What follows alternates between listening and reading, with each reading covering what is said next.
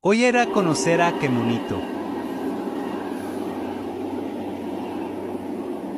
Pasé al Metro Guerrero para ver su foto en el vidrio. Llegando.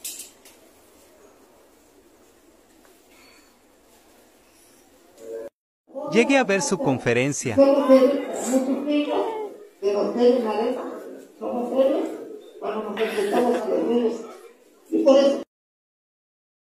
Dios estuve muy nervioso, no lo podía creer.